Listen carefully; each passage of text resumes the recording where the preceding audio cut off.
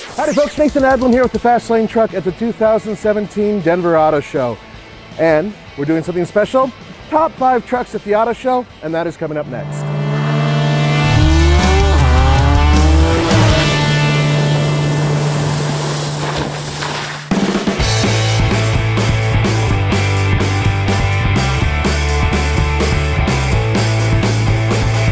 Number five on our list of the top five trucks at the Denver Auto Show for 2017, the Nissan Titan. This is the half ton. It's a damn good truck. I'm thrilled with the 5.6 liter V8. I still think it's one of the best V8s in the market. But what makes this truck unique? This little door right here. It's a king cab. And because of that, longer bed. Some people aren't thrilled with king cabs because you can't open this door separately from this one, so to speak. But I think it makes for a cleaner design and a more elegant truck. Number four on our list of the top five trucks at the 2017 Denver Auto Show, right behind me. This is the GMC Canyon. This particular one is the Denali. Now, I'm actually choosing the one that has the diesel, which is not here at the auto show, but that little Duramax diesel once again won a Gold Hitch Award. Last year it won too. And the reason why is because it is one of the most efficient, powerful, easy to drive vehicles in the segment.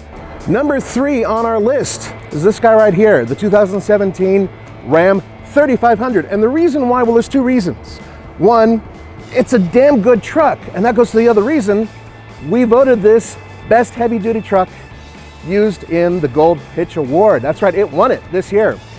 And it's, you can't argue with the diesel. You can't argue with the setup. You can't argue with the capacity or the capability.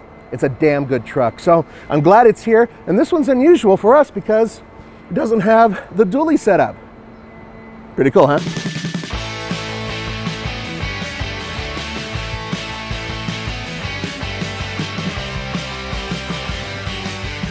This is not a regular Toyota 4Runner. It is an Expedition Overland 4Runner. And what that means is that everything that's on here is pretty much an aftermarket upgrade, specifically to this vehicle to make it capable of overlanding.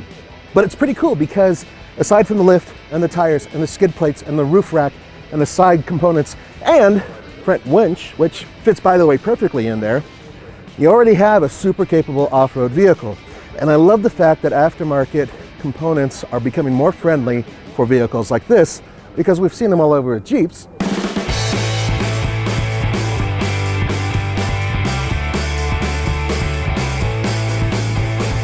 You guys like the new grill? There's actually a couple grills you can get with the new F-150. Now for 2018, there's some new tech that's inside, but for the most part, it's a carryover from 2017. But here's the cool part. Brand new V6s, updated engines galore coming very soon, including a diesel not too far down the line. This vehicle, 10-speed automatic transmission, aluminum body, right? Okay, and then on top of all that, this vehicle won the Gold Hitch Truck of the Year. Why? Because it's a ton of tech. It's a new way of looking at engineering. We can't deny it. And it works well. I mean, this thing pulls like a freight train with a trailer. It's pretty incredible. I hope you guys enjoyed this quick five at the 2017 Denver Auto Show.